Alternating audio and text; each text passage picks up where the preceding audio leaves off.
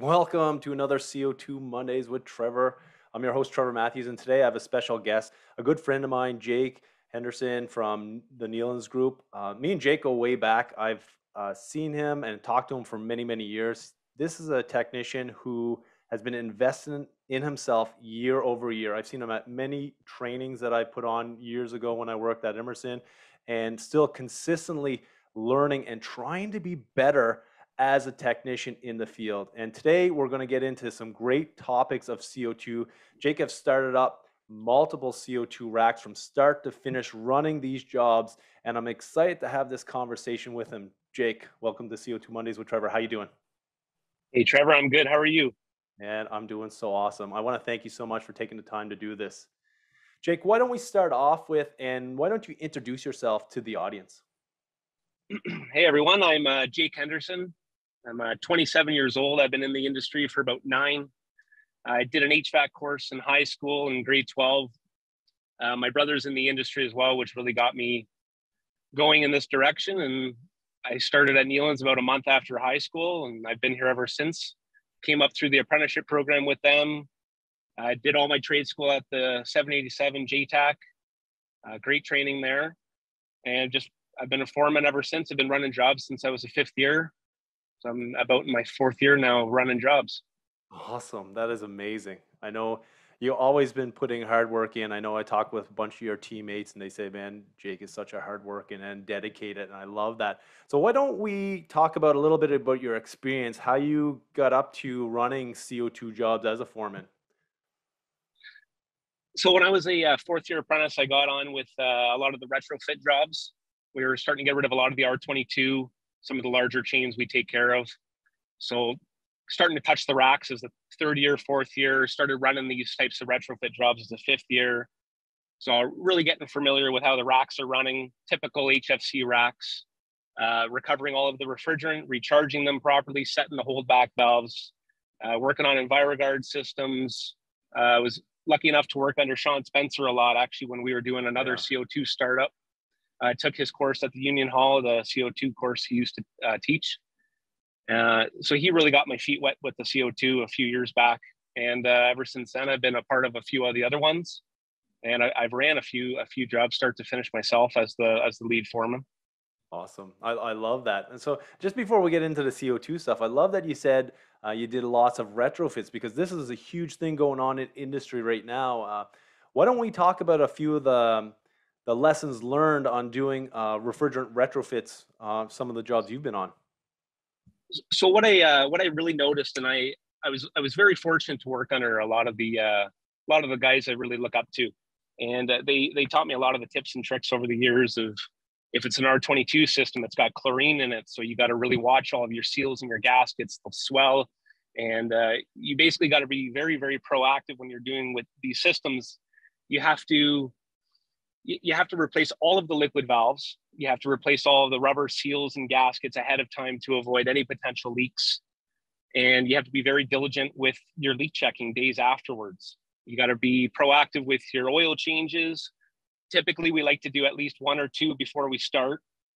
Uh, I've learned tricks on even that. Like a lot of the time, I've seen guys, they do one compressor at a time and then they'll do the separator. But I've learned from other people shut the rack down, do all the compressors at once, do the separator, and then start the rock back up with the new POE oil, even with the R22 in the system still. And then when you do your conversion, do another oil change and be very diligent with that.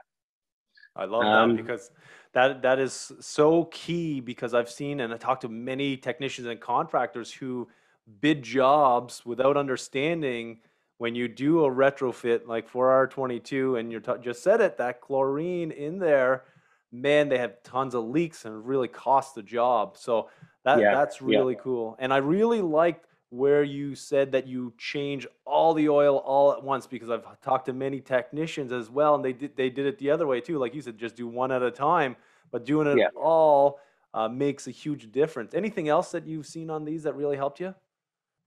Uh, you just got to be really careful because uh, I, I, find even even months after, once you find, you know, you might you might get everything. You might get all the contaminants and the dirt and debris out of the system by changing your liquid dryers at the racks, cleaning your screens of your TX valves, and um, like typically we go around the night of the gas conversion and we'll go and change all the TX valve screens while all the refrigerants out of the system. And then we'll put all brand new screens in. But I find even months after that, you can still get a lot of dirt and debris coming back with all that POE oil washing out the all the the piping, that old piping full of carbon buildup. Yeah.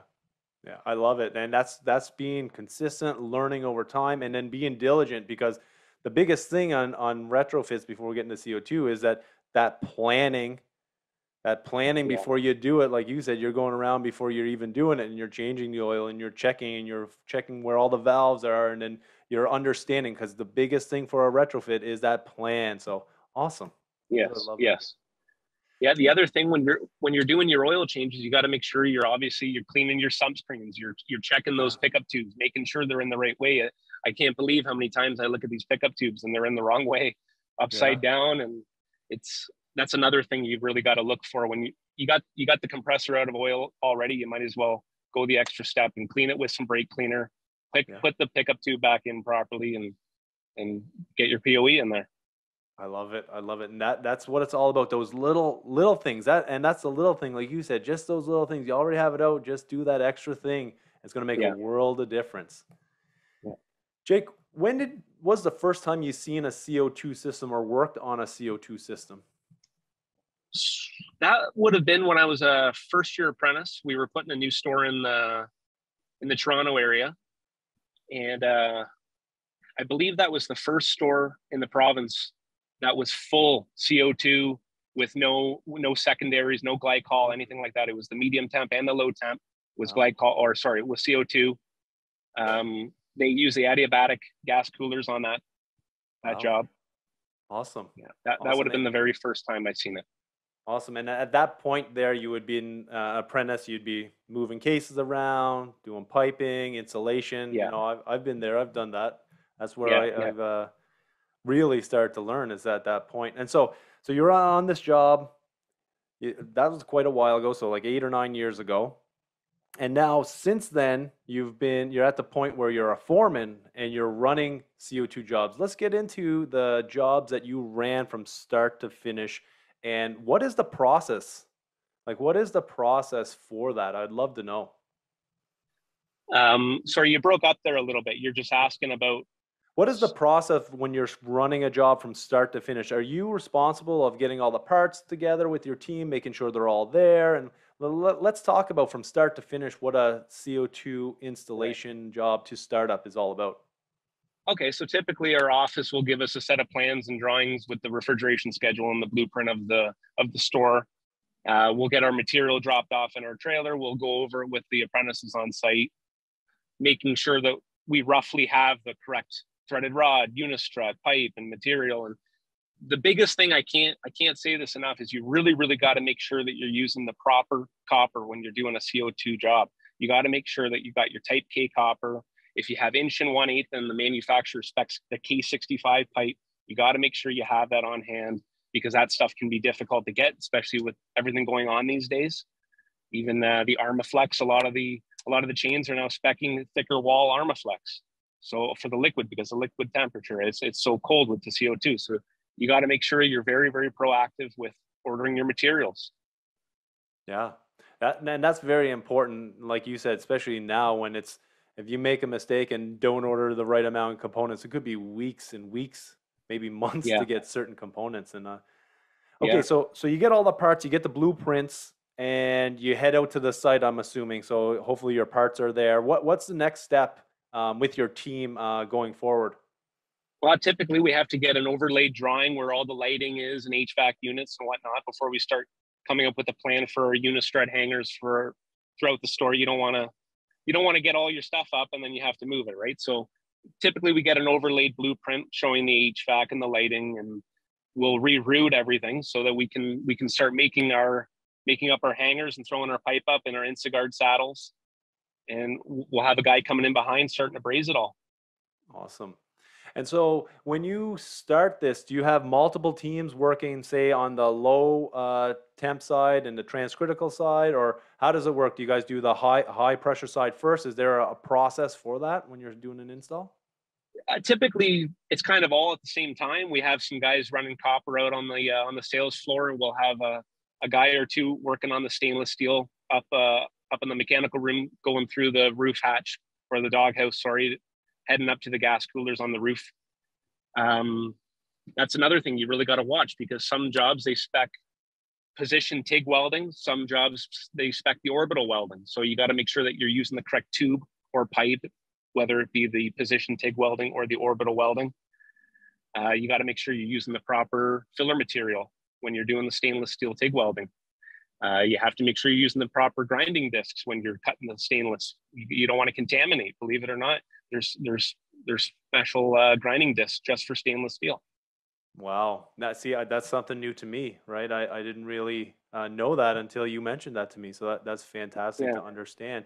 So where would you find this information out? Would this be in the on the blueprint or on the legend, or how would you find out if you know uh, what equipment you need to use if it's TIG welding or not? So a lot of the time, the manufacturers with the uh, with the racks, they'll supply a large book. It'll have all of the electrical diagrams. It'll have the piping schematics, which are great for the apprentices to look at. Really gives them an understanding of the piping of the racks and everything. Uh, also, in that, it'll give you a spec sheet on what's what type of material they're asking for, uh, as well as fittings, what type of fittings they need. And here in Ontario, we deal with TSSA, and we have to get the information from them as to what they spec and we have to kind of work side by side with them making sure that we're getting the right materials we have to get a, a pre-inspection done actually showing our material and they, they come before we put anything up in the rafters even Wow. And and uh, just- you know what? I think that that's good in ways. I've talked to many contractors and they don't like that, but that makes us as technicians be on top of our game to make sure Right. that we get that stuff done. Is it a little tedious? Sometimes it is, but there's a lot Yeah. of people out there not doing it right. So this is why we need people like that to try to be on top of the people that aren't aren't doing the the jobs correctly. So you get definitely. yeah, you get in uh, and you get the stainless steel done, and you're you're getting the guys or, or the team welding in uh, all the cases on the floor. What is the next step? What what's your next step as a foreman?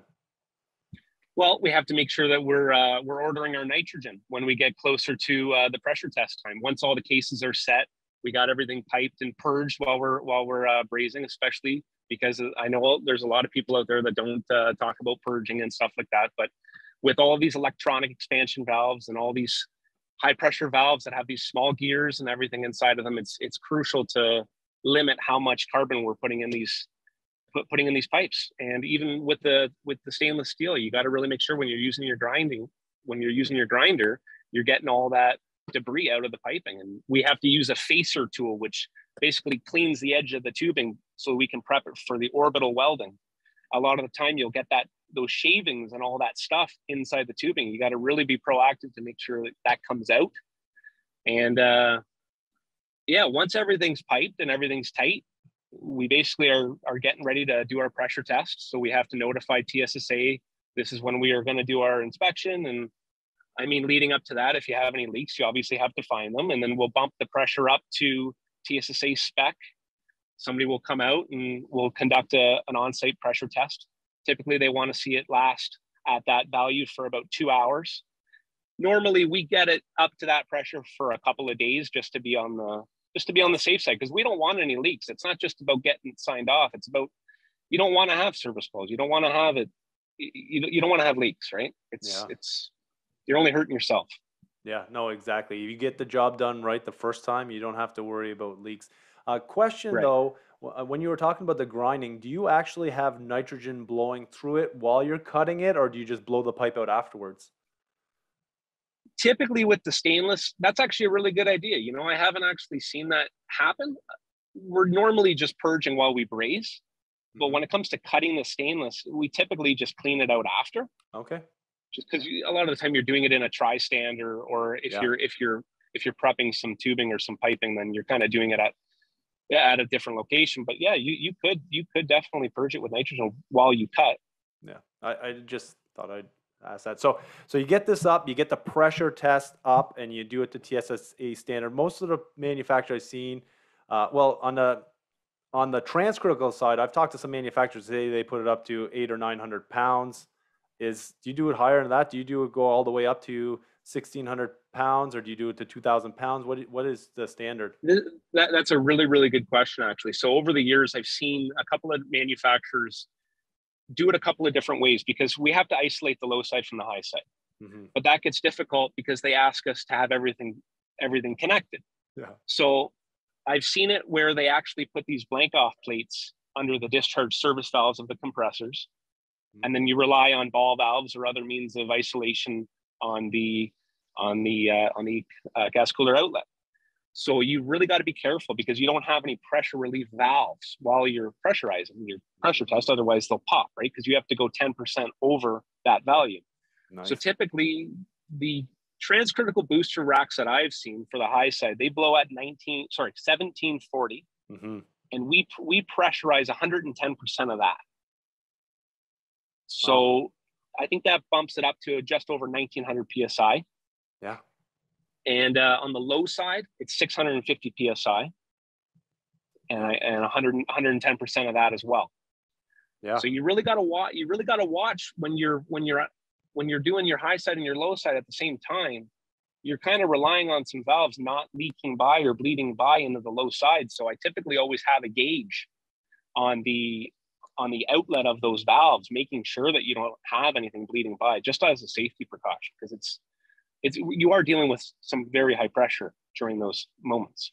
That's such a great idea of checking it on the outside because uh, as because uh, I've talked to many manufacturers and they've seen it many times where you know a valve wasn't closed properly and then their component gets damaged and then all of a sudden they technician or the company starts to run the system and then all of a sudden that you get a broken component because you went over its pressure rating um, right. For example, you know, you go over six six fifty at one hundred and ten percent. I know the the one on the Copeland Zeto scrolls. I think that those ones go at like five fifty. You know, so if you had that right. one in the loop, you'd be um, blowing that pressure relief. So it's important to just like you said, Jake. That that is awesome. So now you do your pressure test. You, you everything's looking good. It's holding for a couple days. And what's your yep. next step? So the next step is you want to you want to bleed off all of that nitrogen and uh, you're going to get ready for your vacuum pump. So of course you're going to get your nice vacuum pump. You're going to get your uh, your true blue hoses so you can get down a very good micron level. A lot of guys will use uh, soft copper with flare nuts. That works great too. Yeah. And uh, you're going to, of course, you're going to change your vacuum pump oil. Number one thing, you got to change your vacuum pump oil. And what I see a lot of people do is they rush, they jump the gun, they get it on a vacuum pump, and you know, a, a couple of days go by, you still can't get a vacuum. Well, your system was tight, you know that. A lot of the time, it's in your hoses or your copper tubing that has the leak. So you got to make sure while you connect all your flare nuts or your hoses to the system, you leave them closed off at the service valves. Service valves are the best spots to go on, or the compressor service valves. Uh, liquid dryer core is always a good spot to go. Uh, try to always go on a service valve. That's the best. That's that's the best thing that's worked for me. And you got to watch though. You got to check your vacuum pump with a micron gauge with that that attachment, everything going up to the system, making sure you're pulling that down. Because if you can't pull that down, you're definitely not going to be pulling your whole system down. So once mm-hmm. you've proved that your hoses and your tubing and your vacuum pump are all working good, you got your fresh oil in the pump, you're good to go. You're good to start opening up everything. Use your gas ballasts. A lot of people crank those gas ballasts down with the channel locks. It's there for a reason. You should be using it. So try to use your gas ballasts until you get three or four or thousand microns and then close it off. That'll help save and preserve your oil. Awesome. Yeah. And so what do you try to get your uh, evacuation down to? Because I've seen some CO2 manufacturers say 250. That's what they're looking for, 250 microns. So what do you guys, what do you yeah. try to do? Yeah, the last job I did, we had four racks. Uh, I had a couple that were about 350, 360 microns, and I got one down to 180. Wow. And the other one was about 220. Wow. So I'm really, I'm really, really liking these True Blue hoses. I find they're incredible, yeah. very fast, and they do a really, really good job. Yeah.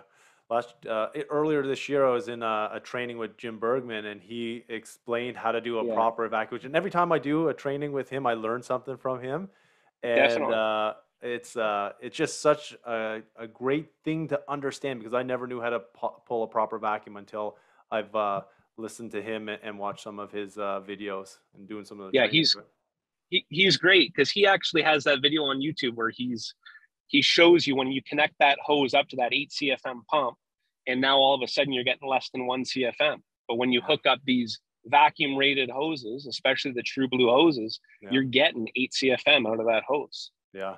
And that's what's so amazing that's... about it. And just there's just processes, and you just learn them, and you do them the right way. It speeds up your time. You, you think, yeah. You think it's probably quicker to exactly. go buy those hoses and come back to the job and hook it, them up than than just yeah. waiting there six hours. So awesome. Exactly. So, exactly. So you get it down, you pull a deep vacuum, kind of like it, you said, and then what's your next step? Well, when you're ready to break your vacuum with uh, with CO2, yeah, unless you got to do the triple sweep or or whatever. Uh, some people do that, some people don't. Uh, the last job I didn't, I didn't need to. I got down low enough. Uh, you got to make sure you you put vapor in some manufacturers spec that you you have to put 350 psi of CO2 vapor in. I mean, I don't normally go that high. As long as you get about 100 psi in everywhere, I feel like you're pretty safe. So normally I get about 100 psi, 150 psi in everywhere, and I'll go on the Micro Thermo computer. I'll check all my transducers, make sure that that vapor got everywhere in the system. Mm-hmm. Make sure you don't have any spots that maybe maybe it didn't get there. Maybe it's not sitting here yet, or you know, you got to make sure you have your vapor everywhere, and then you can start charging liquid when you're ready to start up your equipment. Yeah, yeah, and that's uh, I talked to many manufacturers too. They all say a little bit differently, but you know, 100 psi or 150 or 10 bar, 8, 10 bar, anything over that yeah. triple point. You got to get over that triple point, and when you're over that, then yes. you you're not going to cause dry ice. I was talking with um, a few sessions ago with uh, Lars Jensen from Advansor, and he says one thing that he's seen missed is where there was uh, water in a system, and you pull such a deep vac, and it's so far away that you could cause it to turn into ice and not even notice. And on your gauge, you look like you got a deep vacuum, but you really caused ice. You pulled it down um, right to that point. So just be aware of that. That you make sure and do what you just did because you you go around and you check the whole system to make sure that you have a deep vac in the whole system. And then when you pressurize, you make sure you got a, 150 psi or 10 bar in all the locations. Because all of a sudden, if you still yes. have one that's either in a vacuum or it's at zero, there's some cause for concern, right? So right, that's a good that's a good point. I, I, I forgot to mention that is when when you are checking your microns, it's important to go to that furthest location, go up to the roof, check out the gas cooler service valve, go out to the furthest case on the sales floor, the furthest coil in that cooler out. I know it might be a pain to get out there, but it'll be worth it in the long run if you do that. Yeah, no, exactly. I love it. So now, now we got some vapor in there, um, and we got to throw out the whole system. So we're pretty happy with that. What is your next step? Your team's next step? So I uh, once we're evacuated, typically we go around and we make sure that our gas cooler fans are turning the right way. If we have three phase motors, yeah. we check all of our our high coolers, our cases, make sure we got fans on everywhere. Make sure all of our transducers are reading and our case controllers are online. Make sure make sure we have enough CO2 on site because sometimes it's tough to get the liquid CO2 on site. Make sure we have all the proper hoses and connectors to to get onto the cylinders for the CO2 because they are different than a lot of the other cylinders. They're so uh, you know sometimes that stuff is difficult to get your hands on. You got to make sure that you have that ready for your startup day. Yeah, and it always comes back to that planning and preparing. And it doesn't really matter if it's CO2 or another refrigerant, but it's so important when you invest the time to plan and prepare properly, it's going to make your job easier. Not saying that you might not be able to get certain parts anyway, but as long as it's on your list and you know you're preparing for it, you have a better chance of getting, especially when you order it before the job even begins. You had a better chance yeah. of getting it when you do need it, right? And hopefully it's there.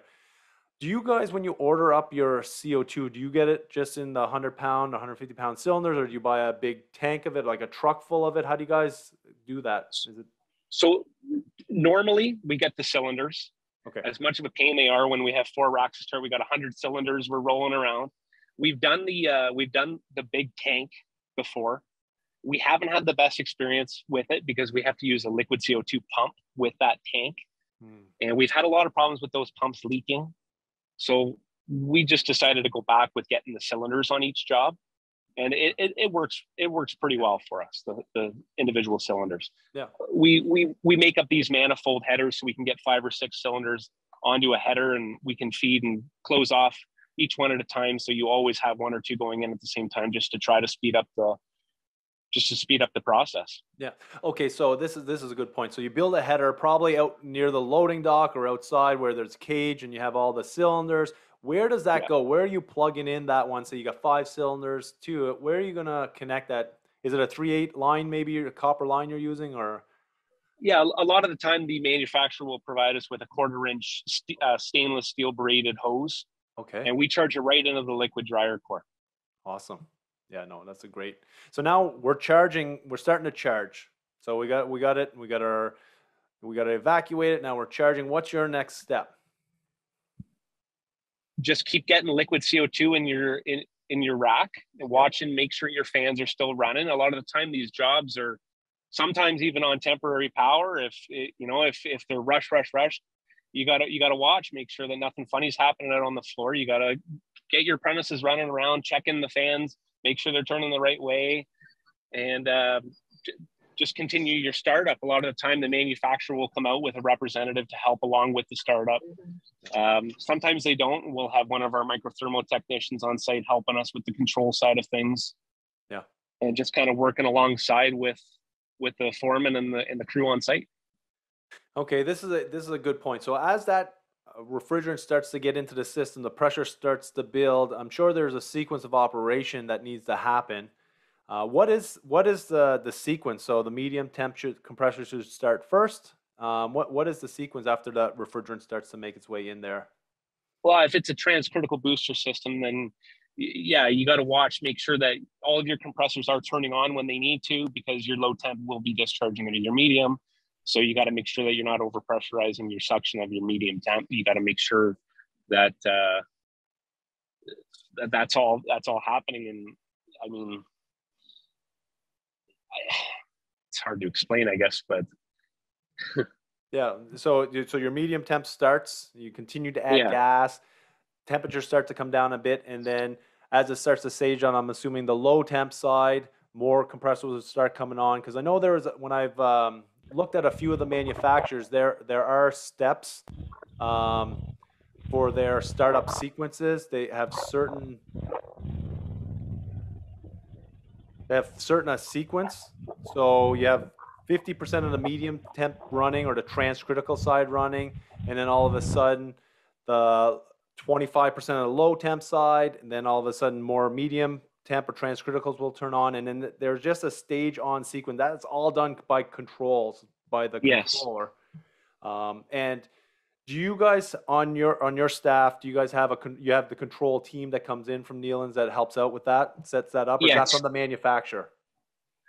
So there's, I've seen it both ways. Sometimes we have a representative from our team that'll kind of be in charge of that, and there's one manufacturer we use a lot, and they they always send out a technician, and they kind of monitor all that while we do the charging and opening certain valves and getting certain systems running. We don't normally start every system at the same time. We'll start with certain things yeah. before others during the startup just to kind of get the system running. And then I, once we start getting enough refrigerant in the system, then we'll start opening up the cases. We normally try to pull down the boxes first. Okay. Yeah.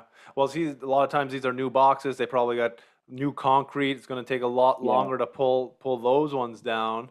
Um, many years doing supermarkets, I understand. I understand it takes a lot longer to pull the heat out of those yeah. that concrete. So now you got the system up and running. So it's it's working and it's going. What are the next checks that you need to do um, and to verify before you know you start getting product into the to the cases? So really good point there. Um, when you're starting up your your freezers for the first time on a new build and you do have that new concrete I normally if i have the time i'll run them as a cooler just above freezing so about 34 degrees 33 degrees for about a week or so if i have the time mm. now what i recently ran into and i never noticed this before was a lot of the time these coils have pan loops in the drains right so on the low temp racks you got to watch because when you're running those as a cooler that liquid is a lot colder than that. So it'll start to condense. And because it's not in a space that's freezing temperature, it'll actually drip. And now you'll you'll have water droplets on your floor and all over your box. I just had this happen to me. it, because of that low temp liquid on those low temp racks, I was running it as a cooler for so long. I was really, I was starting to notice and I was picking my hair out trying to think what the heck's going on here. But that's what it was. As soon as I started dropping that, that temperature down just below freezing, I was noticing those pan loop tubes were starting to solidify and they weren't, they weren't creating those water droplets all over the floor anymore. We were thinking the pans were leaking or we have loose connections on our plumbing and it's all insulated already because it's a freezer with heat trace and everything. But yeah, it was it was that low temp liquid. So on the next startup I do, I'm gonna I'm gonna see how difficult it would be to raise up that low that low temp liquid temperature through the use of the heat exchangers on those racks and and see if we could raise that up above freezing. That was one thing I learned on that last job. That that's a, a great point because you know you got you got that new concrete there and that that's a, a awesome lesson learned for sure and I, would love to hear yeah. after you do your next one to see how, how that worked because I, I know you can do that I know you will be able to do that and figure that out because that's that's yeah. something you will not understand until you see it really yeah yeah it was it was a weird one I've never I've never had that before I've also never really noticed that before so that, that was that was neat to see that was neat to see yeah, and it's good that you explain that you take about a week to cool down these these floors because I've seen it where uh, rushing a job, trying to pull the temperature down really quick, and then all of a sudden you get a crack or you get damaged floors or damage something inside there. So it's important to do that. yes.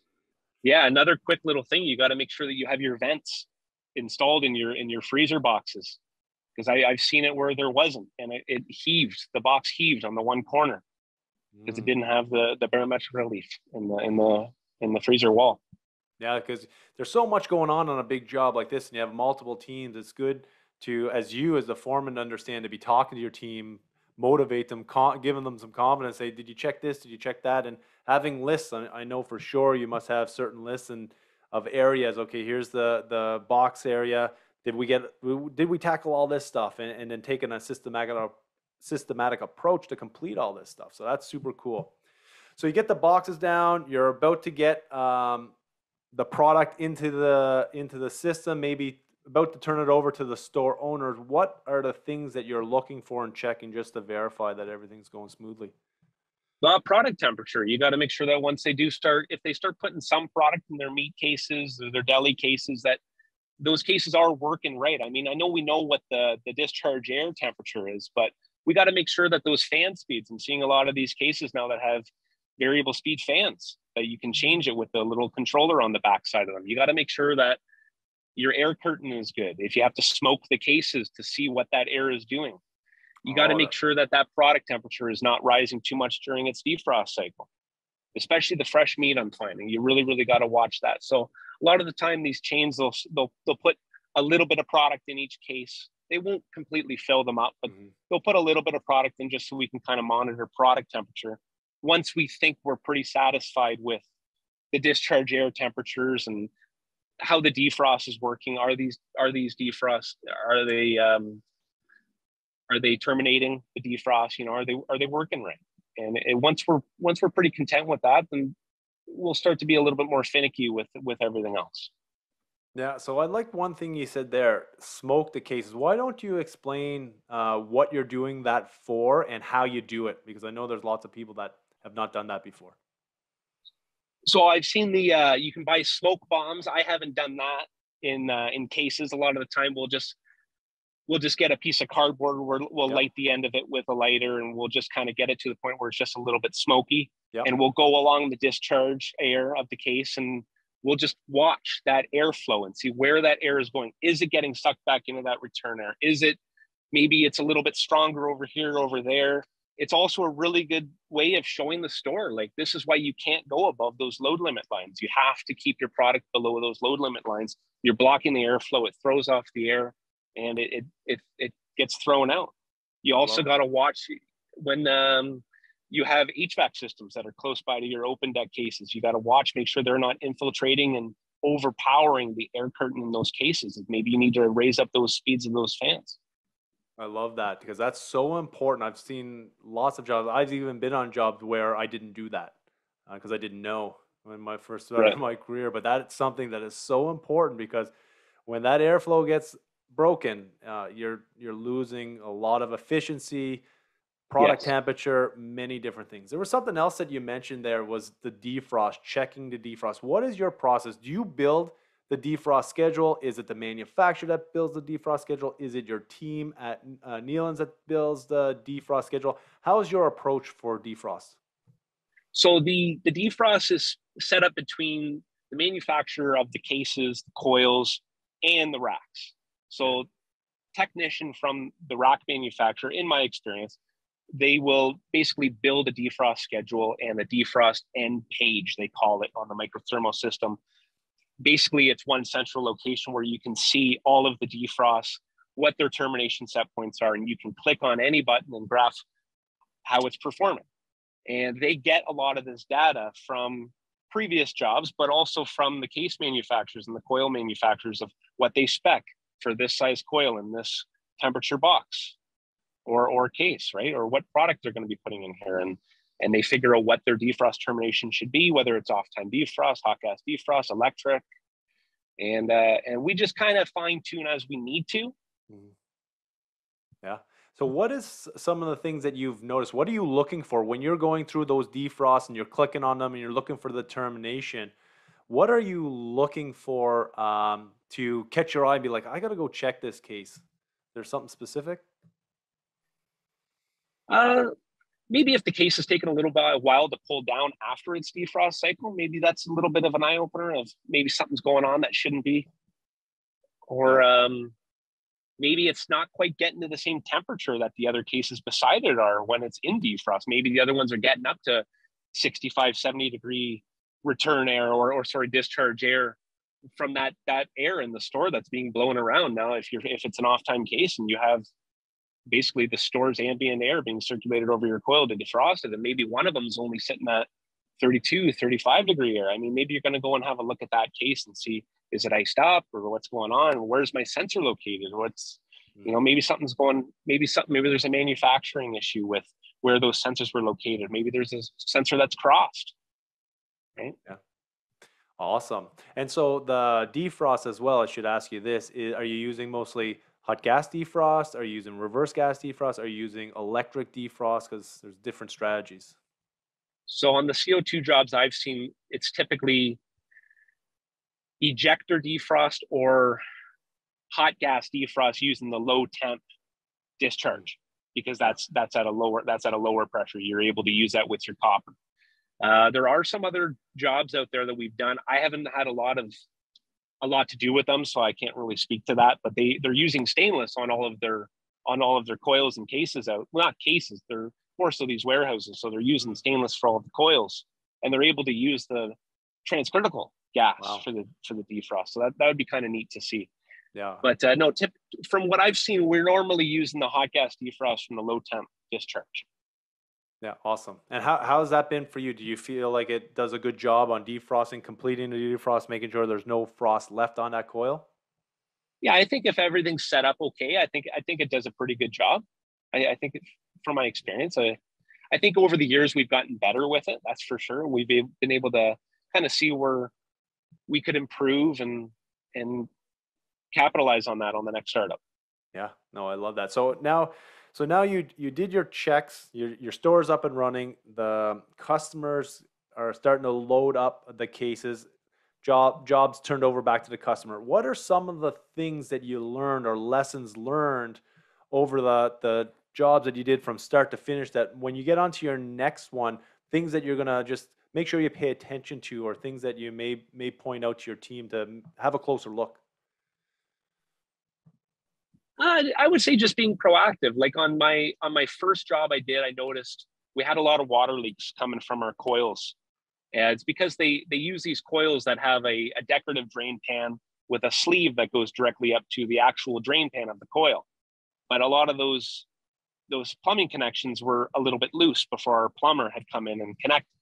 So just being proactive on things like that, going around while the coils are still in their crates when you're deskidding them, you know, go around and crank those on so that when the plumber goes in and they put their fitting on, they don't loosen that off. Um, dumping water in the cases as soon as the plumber's done before that plumber leaves the job. Make sure that they don't have any leaks. Make sure that you know your guys are saddling their their piping properly. making sure that their their hangers are going on tight and their beam clamps are on tight and everything's getting glued so you don't have any water droplets on the floors that the service guys need to now go in and fix uh, on overnights because they have to get a scissor lift. So mm-hmm. making sure that you're you're really really going through your Armaflex glue, you got to really make sure that yeah. you know you're you're you're sealing that up nice, and uh, and you're using the proper insulation. Like I like I said earlier, you got to be really proactive with your ordering of materials, making sure this is something I didn't really mention before, but making sure that you have all the materials you need for your your pressure relief valves because normally these these valves they go to a central location on a CO2 job. You can't put piping on the outlet of a pressure relief valve because of the dry ice concern. So you need to make sure that it's at the exit. So that's why we have to mount the actual valves outside. So normally we run all of the relief piping out to the roof. We'll make a big unistrut hanger so everything's really, really nice and tight and secured and cushion clamped.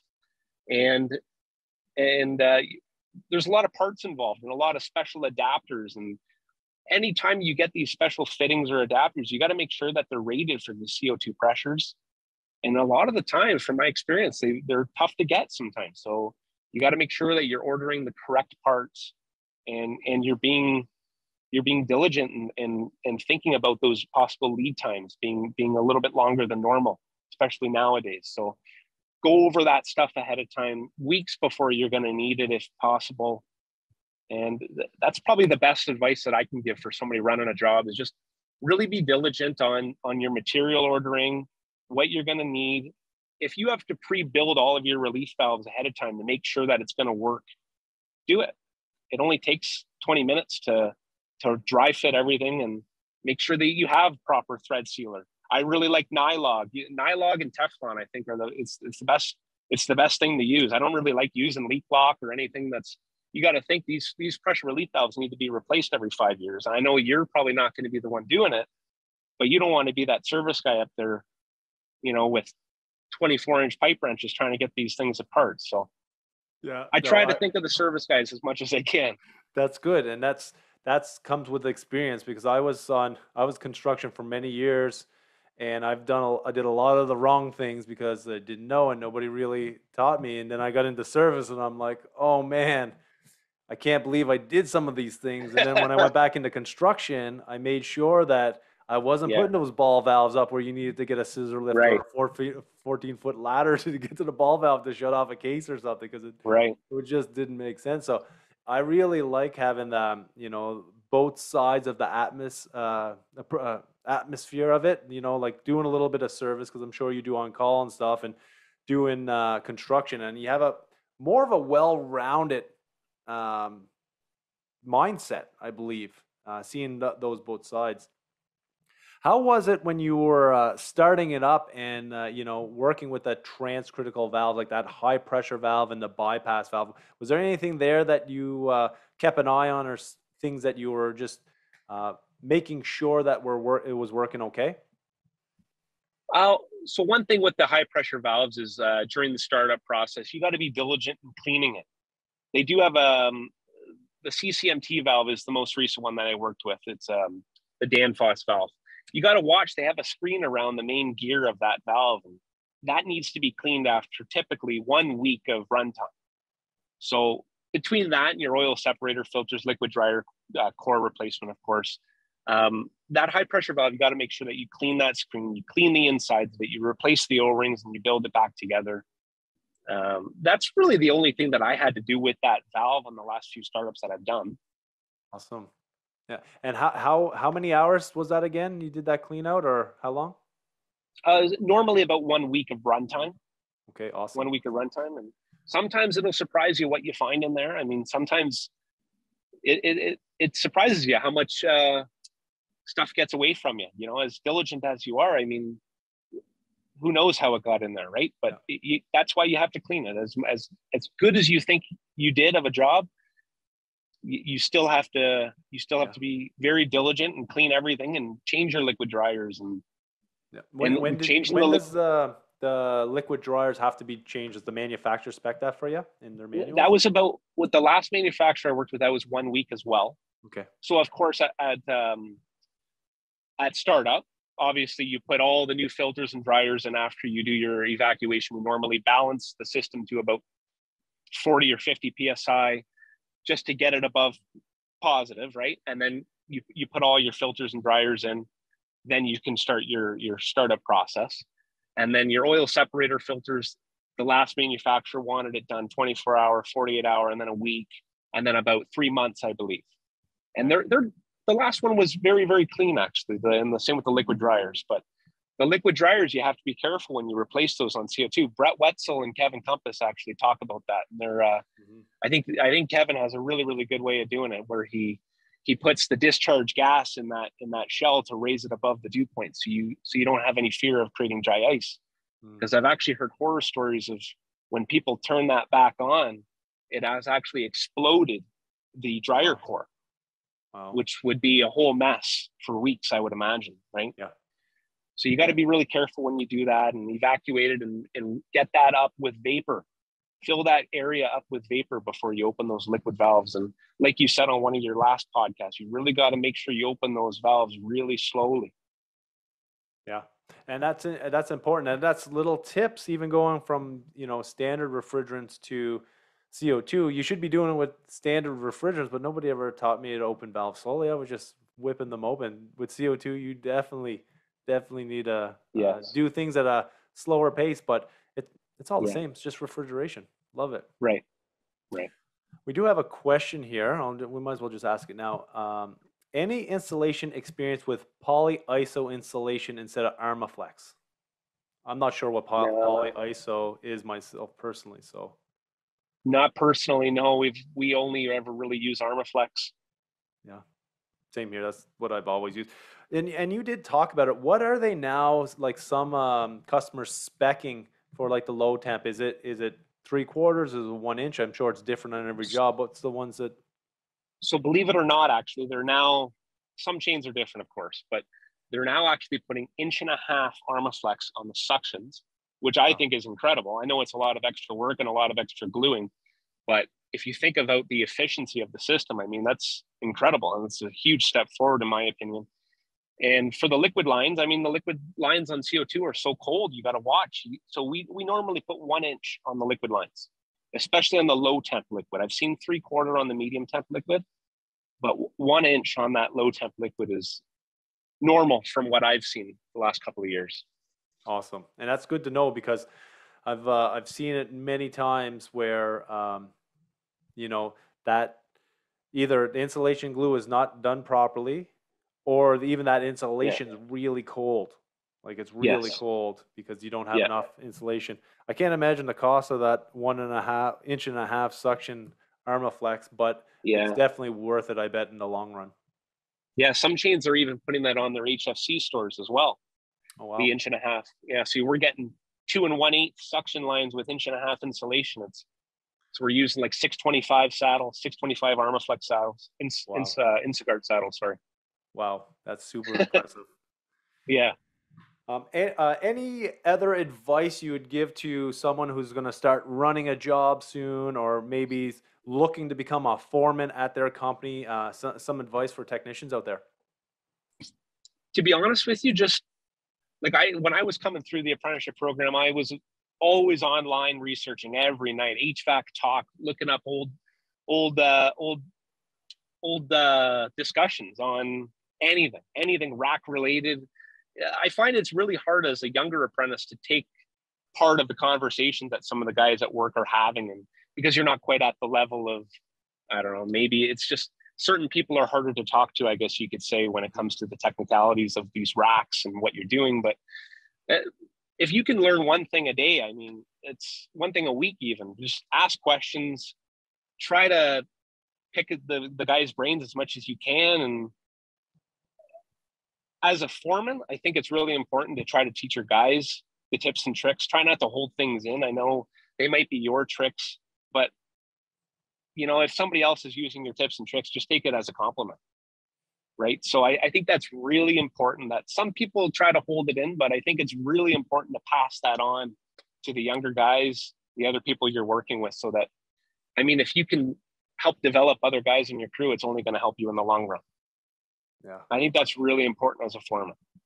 I love that, Jake. I love that. That is so important. You know, uh, sharing that knowledge is what I'm all about. Refrigeration Mentor's all about, and I love that you Yeah. said that because it is so important. Because we need more technicians out there. We need more people to have more knowledge out there. And the more Right. knowledge you share, and if they those people can share that knowledge, it's going to help you in the long run, especially when it's on call at two o'clock in the morning and you don't have to take that call or go to that job site because you shared that tip with them and they can fix the problem themselves. Right. I love it. I love it. Well, Jake, thank you so much. I'm going to see if anybody has any more questions. If anyone does have any questions, since we're live here, um, just shoot it in the chat. You can unmute yourself if you have a question for myself or Jake. And um, I just really want to thank you, Jake, for taking the time to do this. I really appreciate it. I've learned a lot. I've got a bunch of notes here, and Awesome. um, Thank I you for love, having uh, me. I love the conversation. But yeah, if anybody does have any questions, you always can reach out to me. Uh, shoot me an email, shoot me a message on LinkedIn. Really appreciate your time, Jake. Once again, uh, hope to see you next week at uh, CO2 Mondays with Trevor. Have a great one. Thank you, Trevor. Take care. Thank you.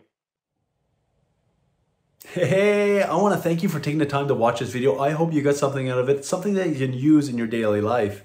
If you like this video, hit the thumbs up button, hit the subscribe button, and click the bell button because when you click the bell button, it will notify you anytime new videos are released. Also, check out the Refrigeration Mentor webpage at refrigerationmentor.com where I'll have all the different trainings, upcoming events, the different podcasts I've been on, as well as the Refrigeration Mentor podcast. If you want to check that out on Apple, Spotify, Google, any service provider of your choice. Super excited to see you at the next video. Now let's get a conversation going.